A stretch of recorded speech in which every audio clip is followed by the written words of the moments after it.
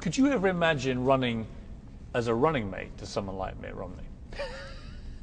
There'd be too many jokes about that. No, I can't, I can't imagine at all.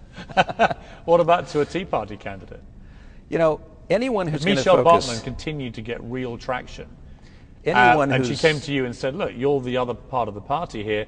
Together we can create sweet music. You know, if you love this country, you serve this country.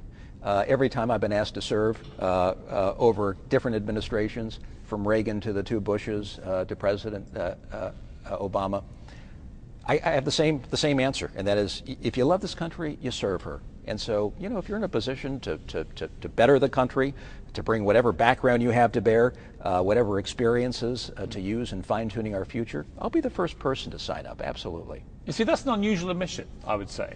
And I think it's to your credit that you've done it. But it, you know, it will get headlines, you know. People will pick up on that and say, Jon Huntsman says, yeah, I, I'd happily serve under Michele Bachmann.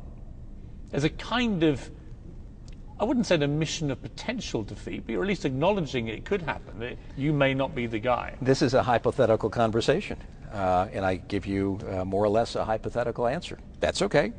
Uh, we're going to win, and I have no doubt about that. I think we've got the background. I think we have the temperament. I think we're right on the issues, and I think we're at the center right uh, of the political scale, which is exactly where this country is.